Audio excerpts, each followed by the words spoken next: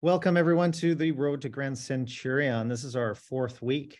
Um, so this is a found. It's not a foundational course. I, I always kind of go over what this course is all about to give you some context. Uh, if you maybe are just joining us uh, throughout the uh, sessions, uh, we we went over two uh, two times last year the foundational uh, Heritage Coaching Academy, which is really building up the foundations of your business, which is having a great listing presentation, buying presentation, your CRM, and and uh, the importance of sphere of influence, and then building that out and uh, putting in two other uh, pillars. Um, now, what we're talking about is uh, building on that foundation and how do you take it and scale it to the next level. Uh, so we do this on Mondays, uh, 10 a.m.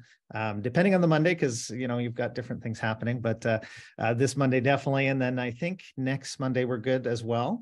Uh, will be recorded, so we're recording this and putting it on a series of um, learning journeys on our training site.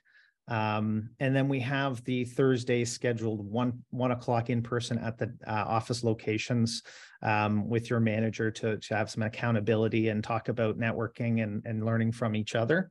Um, and if you attend 80% of those coaching classes, you will receive a, a nice certificate that uh, says you've taken the course. Um, so these are the courses that we have uh, been going through and then um, going on to five and six. Uh, so we took those foundational review uh, for course one. We talked about being a rainmaker and the um, importance, um, obviously, of your business plan and how are you going to um, make enough business to get to the next level. It's all about uh, getting the uh, it's it's leads from sphere of influence or leads from other sources, but it's really about relationships and being able to make it rain, which is having the pipeline of people ready. Um, and you should have that pipeline uh, starting to fill up right now because we're going to get into the spring marketplace. Um, now, how do you scale and uh, return on investment? It's about time and money. So, how do you spend more quality time and, and efficient time in order to scale up your business, as well as uh, where should you be spending your money and then doubling up in order to uh, scale um, a good business plan uh, around those leads. Uh, today, we are going to go through hiring to, to scale, um, and that is the time and money section of uh, scaling. And the, probably the most important to scale is getting help. Um, so we're we're going to talk about hiring help uh, to to get you to the next level today. Uh, the fifth is the need to feed leads, leads, leads, feeding your pipeline. I know it's a hot topic. Is how do you just keep feeding? So we're going to go into online leads as a source.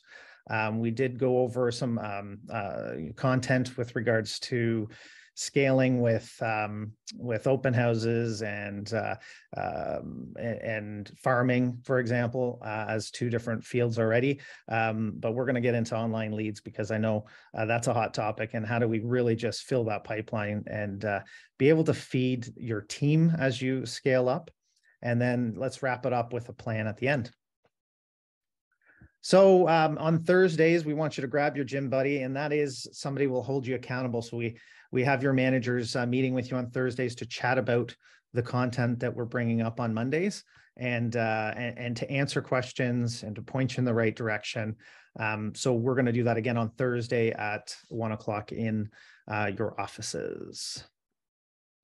Um, is everyone using the Agent Success app? I think this is a great way and we talked about making it rain and we talked about lead gen and we talked about prospecting and and really continuously building relationships. So what the agent success app does is it gives you a lot of actions that you're able to complete throughout the week and give yourself points towards your goal for the year. Uh, it breaks it down the by week by month by year and it really is a great reminder of some of the things that you could be doing in order to stay in contact with your sphere of influence and or get out there prospect and uh, it's I, I find it's a great accountability measure without having to specifically have a coach. Uh, you can use the app. The app also allows you to add a coach. So if you're uh, building a team or you're on a team and or if you're um, if you want to add one of our managers or myself as your coach that allows us to see what prospecting you have been doing and uh, review it with you. So download the agent success app so where does your road start? Some of you are below 114, some of you are above 114, some of you have uh, um, got into the Centurion level, which is amazing. That's your top producing level. Uh, and this is really where this course takes over. And last uh, session, we did focus on that Centurion level and uh, started to say, okay, you're at Centurion level. How do you really scale up and do 640 over 320? And of course, you're, you're utilizing your time more efficiently. Uh, you are um, making sure to uh, time block, um, become more organized, and to scale a couple um, of your areas that you're spending some money in. So this week, um, that de- double centurion level, which is 640 or above, you're you're going to need help.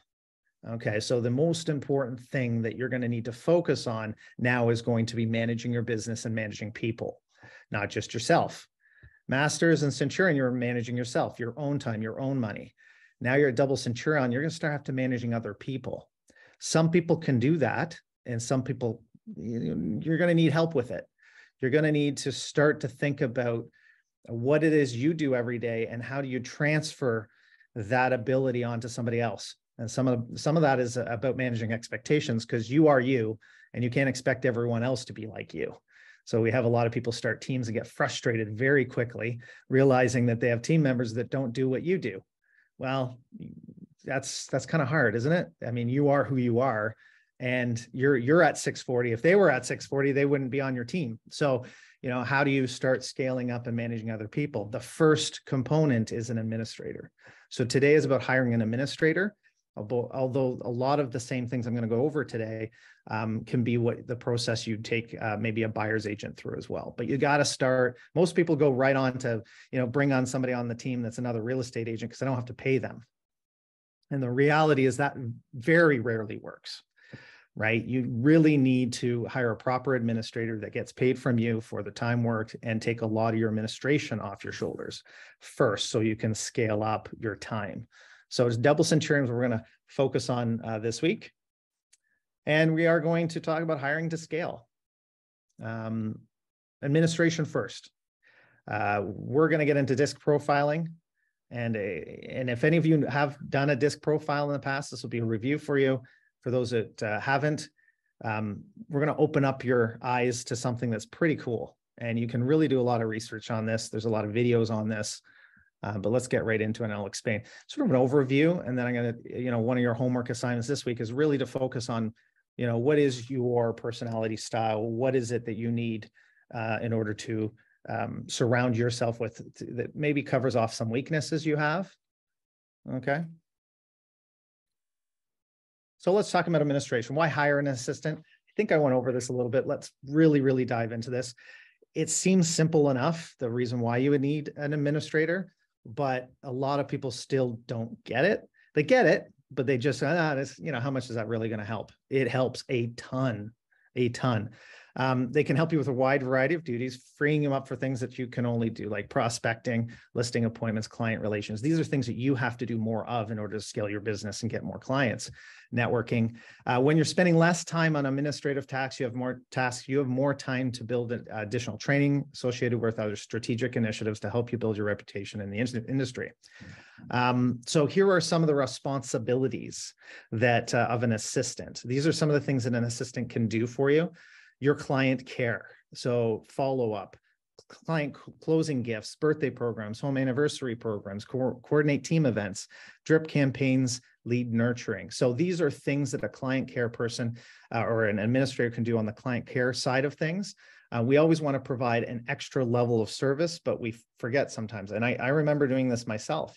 I would sell a house and I'm like, I want to get them this gift and that gift and follow up and all this. Then you get busy doing something else. And all of a sudden you look back and you're almost embarrassed to call them in the future because you forgot to drop off a gift or you forgot to have that conversation and thank them so much and ask for a referral you know really build out the relationship and turn your business on overdrive. You will scale up your business and double your business with just client care because you're going to get more and more referrals. Referrals are the best source the best source of business and that's where you're going to get it from the client care side of things business building. So actually building the business. So managing, enhancing social media presence, manage and promote client testimonials on websites, write and facilitate all creative for advertising, track and analyze advertising, create efficiency, provide opportunities and feedback to team members to promote sales driven goals. So when you have, um, you hire an administrator, uh, if it's just you and your admin, Okay, you're not you don't team members yet. They're still going to prov- provide stats and and and be able to say, listen, this is where you're at. This is where you can be. Maybe we should double up here. Have those discussions and make them feel a part of your team by really analyzing your business and helping you build it. Um, managed in the administration side of things, of course, is probably where you you you need the most help, right? Managing team central. Now, this a lot of this stuff is team team related. Okay, so we're going to assume that you're getting to that next level of Grand Centurion. So these are things it can do for the team, but it can do for you as well, right? So your communication, not just with team, well, team leaders, you, so communicating well with you, managing a central email, helping prepare marketing material, preparing buyer and seller listing packaging, uh, booking showings, coordinate showings, preparing CMAs, listing packages, monthly marketing meetings, analysis, uh, analysis, uh, follow up with client solicitors, organize team leader calendar time block accordingly, manage client database, maintaining photos, open houses, MLS websites, preparing listings, feature sheets, photography, manage update agent websites, blogs, uh, track and coordinate of inbound leads, maintaining organized listing and deal paperwork. That's a big one, by the way. Obviously, deal paperwork, following up on um, on deficiencies, uh, organize and file all advertising. So these are the, the, administration side is what people tend to, and I usually don't have to go into the details of that. Yeah, they're they're going to do the work that you shouldn't be doing. Any piece of paper that you touch or or fill in other than explaining and having them sign a contract should be done by your administrator. Follow up. Um, you know, that's a lot of the the time that we're spending uh, inefficiently. So let's talk about hiring. Um, and it's probably the reason why a lot of people don't have administrators is because how do i hire? How do i find one? How do i get that uh, person up and ready and and all the rest? So let's go right into how to properly hire somebody for a position. And we're going to focus on administrators. Uh, down the road you're going to be building out team members uh, and to be pe- people part of the team that are going to do certain things uh, it could be a buyer's agent for example these core values hire slow fire fast and train well even though we're going to talk about an administrator here this this does relate to buyer agents as well okay? Um, when you build out a team and an administrator is the first component you are going to need to figure out what your core value is. What is the value that you entail in your team? And there's whole courses just on building out mission statements vision statements and values but you need to go through that process to find out what is your value propositions what is your culture that you want to have in terms of your team even doing your own personality style and test to, to see what it is that you need the the strengths and weaknesses but you need to share those common values. If that person that you're hiring isn't customer focused and customer service focused that might not be a good value uh, not to put in place because they're chatting obviously all the time with your clients and you need to provide great service. But have common values shared vision passion and energy. Uh, culture fit is key. Skills can be taught okay? So don't you know focus as much maybe necessarily on um, let's say skills that that you can teach them how to fill a FINTRAC form. So if they don't have FINTRAC experience, who cares, right? Uh, and we can help on that. And I'm going to go in through a little bit more of that um, further on. So core values, hire slow, fire fast. I don't know if you've heard this before, but if you've ever taken any management courses or been in a management position, you need to take your time and hire the right person for the job. If you make that mistake, trust me, the next few years are going to be tough for you. So hire slow, make sure you do it right and then fire fast. If they're not the right fit, and you can tell in the first day, they come in late and uh, you know they uh, not just late, right? But they come in maybe with a bad attitude or they rub you the wrong way. It's like, listen, I don't know if it's going to work out, right? Fire fast. Make sure you do not continue on with them for a long period of time. So turnover is costly. Energy, time, money, everything. It can really actually affect you in a negative way. So have others even interview right? Take them out for lunch, hire slow, right? Get to know them before you make a decision 100%. Um, and then train well. Make sure you invest the four to eight weeks up front. Uh, intense training with your new team member, bring them up to speed on the company culture, ski kill, skills, implement ongoing learning development plans. So make sure you train them well. We can help with that, right? Part of our training program, and uh, we did a full uh, administrative uh, how to how, how to hire an admin and and train an admin program. So training your admin for you. We have it on video as well. We allow um, allow we we create a culture within our offices that if you've brought on them and they need to figure out how to fill out a FINTRAC form or um, work with web forms or um, you know put a listing on the market, we will have them sit um, with our admin and have them trained through us. So we we can provide that service for you. But I really want to go into disc personality um, right now and talk about what disc is. Okay. Um, if you've heard of disc before, uh, as I have, I've taken different personality uh, traits. When you when it gets when you get into managing teams, and I'm saying teams, any work environment, uh, it's important to know what uh, sort of personality style you're dealing with, because a lot of frustrations come can come from just not measuring expectations or hiring the wrong person because you thought they were a lot like you right? We make that mistake a lot is that you know oh they were really great outgoing so friendly so much energy and realize you just hired an admin that's a great salesperson. And that's all they're going to want to do is talk all day long to your clients and get nothing done in terms of administration work right? You need to hire properly. So having a disc personality done will help determine what it is if it's a right fit. Uh, typical admins and now let's go through there's d I, S, and C. Right, D, I, S, and C. Um, so that's a disc. D's are dominant, um, what called dominant personalities, right? Um, anything on the high or the top scale, so dominance and influence is high energy. Okay, so this is high energy. Okay, uh, results based. They they they're determined. They're direct. Uh, you'll see a lot of uh, CEOs and and uh, people that will you know they will go through anything to get the job done on time, right? So dominance personalities, I's are influencers. These are people that are super social, life of the party, enthusiastic, outgoing, persuasive, right? So influencers, great salespeople, right? Um, D's get things done. Influencers, they're the life of the party, right? And uh, a lot of real estate agents that are successful, but are super unorganized, are high I's. Okay. Then we have the C. Oh, sorry, go S first. So we'll go with the S. His steadiness, thoughtful, supportive, patient. You know, they're gonna they're going to really care. They're caring. Okay. And then you have the C at the end here, which is precise analytical details, your your accountants, uh, your teachers, um, and and so lower energy, but very organized and um, and they'll, they'll follow through, but it might take a little bit longer to do. Okay.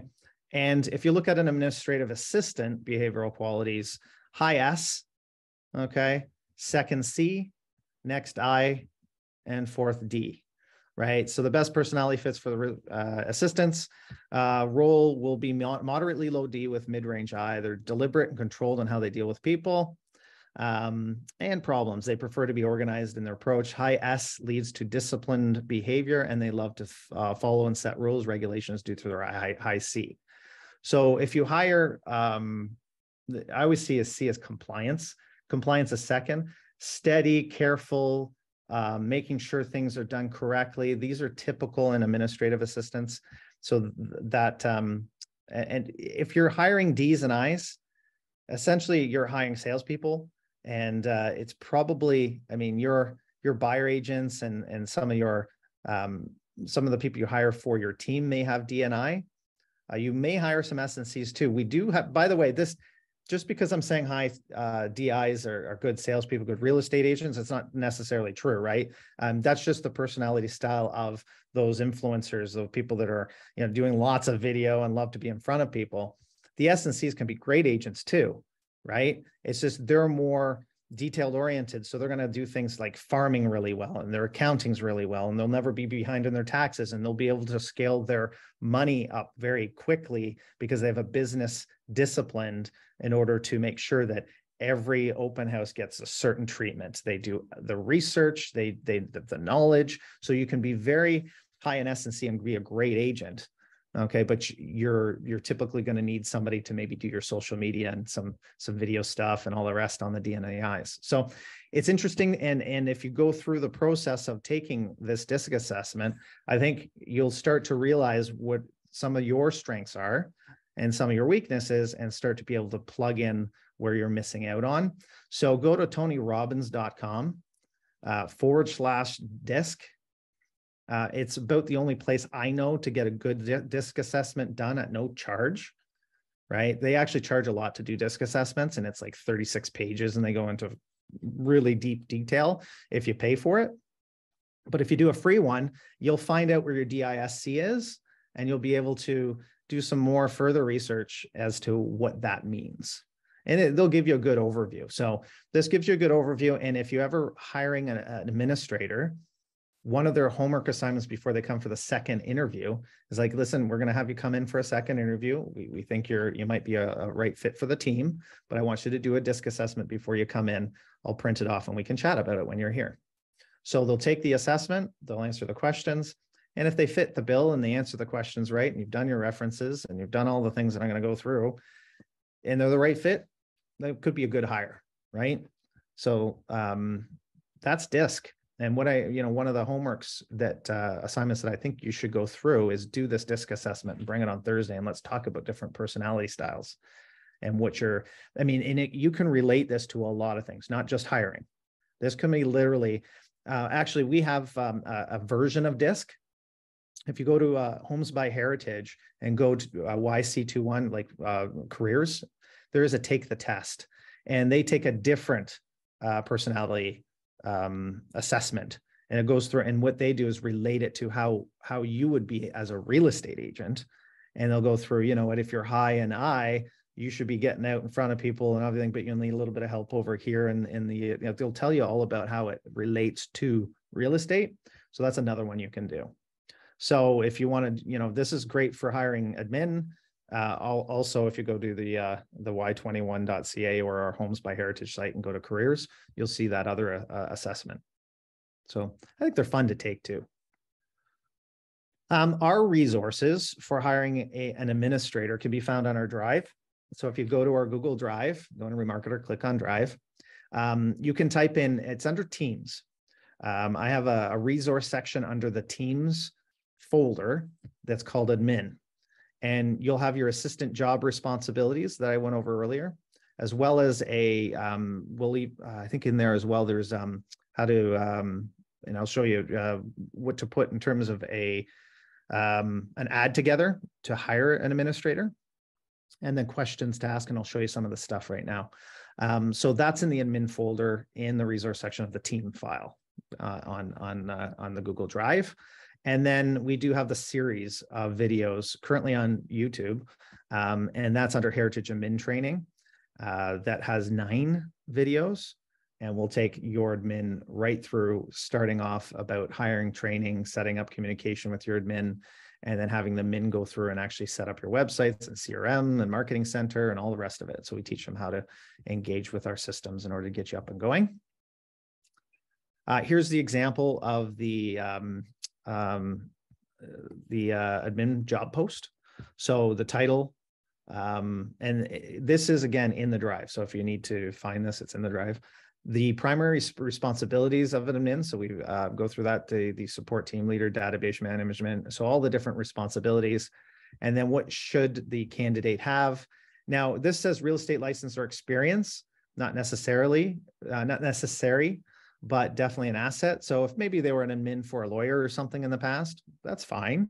Um, there's more training that's going to need to have have to happen. Taking somebody that's either had their license or has their license, that's a big question I get asked. Do I do a licensed assistant or non-licensed assistant?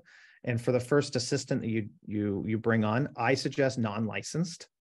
Okay, some people will do license because it allows you them to go out and maybe show a property or two and stuff, and that kind of gets but usually licensed assistants won't necessarily want to always be um, the admin and you have to make sure they have the personality style of that S and C and that they're loyal to and just they like to just they just like admin stuff. So and if that's the case and they have their license, it's a bonus. But um, just be careful with people with licenses because they tend to not again they'll may, may want to get into sales ask them and then you create a buyer's agent you have to hire a new assistant but yeah, I don't know. It can be a benefit. It just has to be the right uh, situation. Um, here is an example of just the uh, the write up, um, and if it's you know if you're ideal for the right position, um, this is our commitment that you need to make, et cetera, et cetera. So this is this is an example of a job, uh, job admin post in that uh, Google Drive. Uh, five key factors when hiring. Uh, make sure that um, that uh, job stability is important to them. Um, do having their disc profile, you'll find out which ones are typically more um, resistant to change. That kind of just like doing the same thing all the time. Um, so you're going to ask certain questions like how many jobs have they had? Um, you know, if they've been in five positions in the last two years, chances are they're not going to stick around. You know, why wasn't the last five jobs suitable for them? Location make sure that they live near, nearby too far away. It just doesn't seem to work. Some people have said should i hire an assistant that is even overseas and it's cheaper because i can hire somebody to that's that's a tough i've never seen anybody really have any success with that. Um, i could be proven wrong if it's certain things you need done like technical stuff with websites and stuff but you know i would say typically you want the location to be close. Hobbies interests you need to know a little bit about them professionalism and experience of course comes uh the you know key factor. And then their education you know um, these are things when hiring you you got to take into a, a, consideration. If they if they're highly educated in the position that you're hiring for in the admin role and they've done it in the past they know what they're getting into and they're going to be happy doing it because that's what they enjoy um, as well as their knowledge. If they're coming in uh, working for another agent in the past they're already you know maybe up to speed on web forms and stuff it, it might take only a couple weeks to get them up and going instead of the 48 obviously somebody with no experience in real estate whatsoever it is going to take even longer than eight weeks. The onboarding is going to take eight weeks but it's going to you know take a good year to get them up but they may be the best employee you've ever hired because you hired on personality and their key core values rather than education. So take these all into consideration when hiring uh, there is a list of typical questions to ask. Now, I say typical. These are the ones that you'll go in an interview, and I'd say somebody who's not advanced in interviewing somebody will go through these set of questions and stay there. So, like, what is your strength? What is your weakness? What are you passionate about? Okay, these are easier questions to answer. If you really want to put somebody on the seat and dive into um, more situational questions, you'll find that if they can't give you situations or they can't explain um, how they handled certain things, that they could just say, "What's my greatest strength? Oh, I'm a hard worker." Okay, well, tell me a time that you you had a you know you had a deadline to meet, and uh, how did you overcome it, and what did you do to get it done, or something like that. Then you're going to be in better position. So here's situational questions.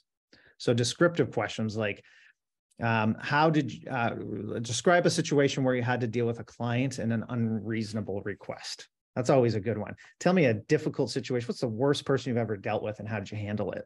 Right. And if they tell you a story about, yeah, the person, you know, um, it was a it was a, a tough client. They were really, you know, grouchy. And I just told them, you know what, it's better we just, you know, go our separate ways, or I yelled at them. I mean, that wasn't the right way to handle it, obviously. Um, so having them put into a situation is always an easier way in order to find out whether or not they really are um, customer focused or or compliant or you know describe a situation how you handled an upset client describe a situation when we went out of a way uh, for a coworker how did that impact you? Uh, what are your thoughts and feelings towards telephone prospecting? Describe a diff- difficult prospect call and how you handled it. Describe your best uh, sale in detail. These are great questions for uh, buyer agents uh, describe your worst sale experience. What are your long-term plan and goals? What's your interest about working with me and my team? These are examples of situational questions. Obviously go through, there's a lot of questions between this page and the last one I showed you. You know, cross out the ones that don't apply for the situation you're in, but ask the ones that do. Um, and put some thought into it. Most people will just come in, the person will sit down and say, well, tell me about yourself. What's your strength and weakness, weak, weaknesses and, and just be, you know, just to get to know the person um, make sure you put them a little bit on the hot seat and tell, you know, get them to tell you situations they were in. I think it's so important. Um, checking references. Any mistake I've ever made in my careers as a, as a manager, it comes down to, damn, I should have checked those references, right? You think they're great. You want them to be great. I found the first perfect person for the job. Let's hire them. Okay, got them in and everything. And, and realize, ah, maybe I should have checked references. it always goes back to that. So don't waste the time. Don't you don't want to miss out on this very important step. You will also want to make sure that you're adding uh, abiding by legal and professional standards. Checking references takes time, but it can save you money, time, headaches down the road. When you check references, ask the right questions. The one I always think, one I always, would you hire the person again? If you get a pause, right, there was something wrong. they said, well, yeah, if you know, if you're looking for a good salesperson, they're great at sales. Like, okay, so they didn't show up on time, they didn't complete their tasks, they were difficult and had an attitude, but yeah, they were great at sales. you know, you just you have to ask certain questions, right? Uh, would you recommend this pers- uh, person and why? Uh, did they get along with everybody? Or why did they leave? Right? Was the individual ever promoted? And just so you know, from a legal perspective, if the person answers all these questions and tells you all the different things that, all about them, um, it actually puts them in a in an awkward position for you're not from a legal perspective. You have to be careful how you answer these questions. If anybody ever calls you for an interview, or sorry, for a reference, I was always taught when somebody calls you for a reference, it's on the other side, say I can I can only confirm and deny the information the other person provided, right? So you have to change the way they word it. So um, you know, they said they were promoted into this position. Was that correct? I can confirm that. Yes. Were they, did this individual get along with other? Well, they you had to have to ask, you know, uh, they say they got along with all the people at work. I can't confirm that. Right. So you, you can only confirm and deny, which is, it was, it was a, a little thing that somebody taught me once. And I was really interested in why is that? Well, because from a legal perspective, you can only confirm and deny when doing references. You can't say, oh my God, they did this and they did that. Like, okay, you just affected them getting a job and they can come back and actually sue you for not getting that position because you told stories that weren't necessarily true. They'll say it wasn't true. Um, and that uh, you told them things that were private information and stuff. It was crazy. But when you track references, yeah, you're going to ask these questions because you need to know, right? Um, we have contracts. Um, I'm not, you should always get your contracts looked over by your own lawyer. Okay. But we want to provide you with um, some basic templates. So we have a, a, a boilerplate independent contractor agreement. And this is where I want to spend a little bit of time cautioning you. When it comes to hiring an administrator, um, you have to decide if you're putting them on an employee basic basis or an independent contractor basis. Okay. And there's different legal requirements for both. Most, we are independent contracts as real estate agents because we have our own car, we're provided our, we're, we're, we're, we're have our own computers, we have our own workspaces, we'd have to pay for work. There's a bunch of things that you have to go through in order to, um, to make sure that you are an independent contractor and it needs to be documented. So that's why we have independent contractors with all of our agents. Well, if you hire an administrator and you tell them that they have to work between nine and five and come to the office, and uh, you they're an employee, they are an employee. Even if you sign them to an independent contractor agreement, from independent in, from uh, an employment standards standpoint, they're an employee. So even if you give them paper for your printer, right? Even if you give them the pens that they write with, right? If you tell them you, you have to work between any time periods and you're providing them anything, they're an employee. Now, you don't necessarily want them to be an employee because if you call them at eight o'clock at night, and you need them to type an offer. Employees aren't, you're not allowed to ask that as an employment standard. It's a new rule with employment standards. So you want to be a true independent contractor. Okay. So you can't ask them to do things and they bill you for their time. So at 10 o'clock at night, write an offer. They're an independent contractor. They invoice you for their time. You do not give them a computer. You do not provide them with paperwork, paper or anything. If there's anything that you need to provide them with, they would have to buy it from you, rent it from you. Okay, so you get into a lot of different legal things. And um, I'm just giving you an overview of the things that you need to look into when you bring on somebody. Okay, so uh, again, I'm not a lawyer. You really should look into your responsibilities, okay, as a person who is contracting somebody to do work. We've suggested an independent contractor because from an administrative standpoint, uh, for the most of you that are doing a lot of business, you're going to need um, to pull on their time effectively when you need them. Okay. So when you bring them on, yes, they have to provide their own computers, pens, laptops, Um, even the workspace that you give them, that's they can come and use it, but that's not their office, right? So um, you have to be careful, and that's going to help you guys with uh, with uh, independent contractor agreements. Okay, that's a, one of the questions we we talk about a lot.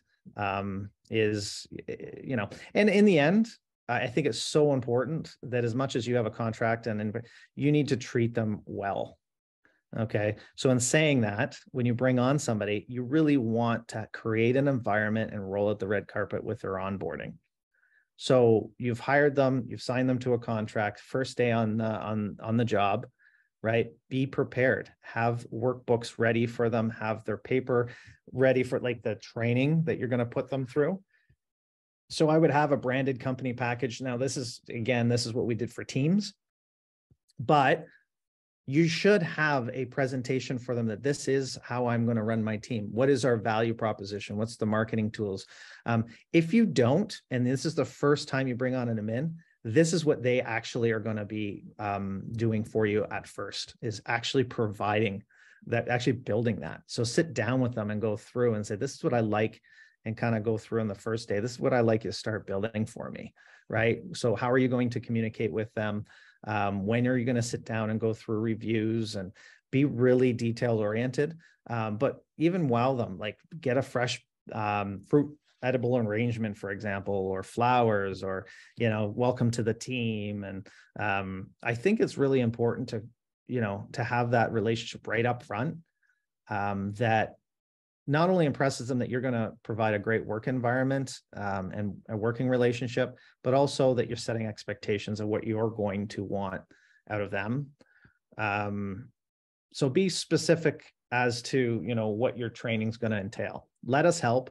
There should that we we have a ser- series of videos they can watch.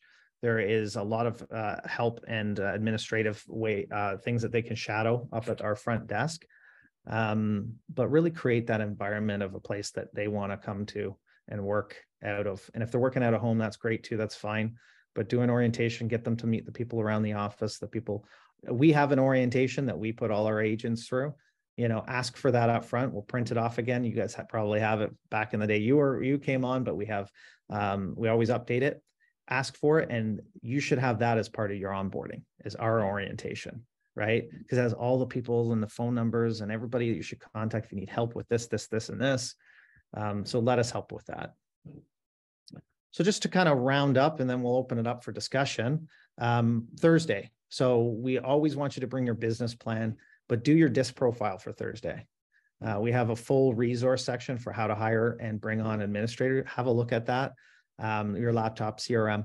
We're going to talk about profiling and what what it is you need help with and if you haven't quite got to that point where you're at that you're pushing towards double centurion level, and you're still at that organizational phase, use this as an opportunity to do a disc profile and what is your strength and weaknesses and what you can work on, right? Strengths are just as important. If you are high DNI, well then you're you're a driver and you're an influencer. You're going out and meeting more people. You should be doing door knocking and cold calling and putting yourself in front of people right? If your s and c is okay let's organize yourself and let's talk about scaling up and and and doing a good marketing program with uh, uh, with emails and and crm and and maybe get into farming and some of the things that are more organizational and systems oriented get those up and going. As soon as you have those strong then you can start putting in okay what on my weekend? What do i need to get help with? And that's when you're going to either hire somebody or contract somebody to do certain things for you